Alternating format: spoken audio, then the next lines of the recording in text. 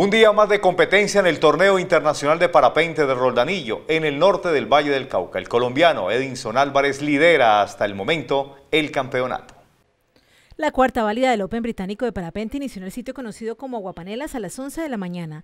La carrera comenzó a las 12, justo en el medio del valle, muy cerca de la paila.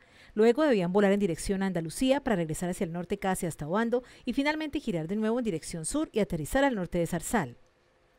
Paltax fue el ganador del día tras completar la prueba en 2 horas 9 minutos 16 segundos. Por otro lado, el santanderiano Edison Álvarez continúa punteando por nuestro país y hasta el momento encabeza la tabla de posiciones.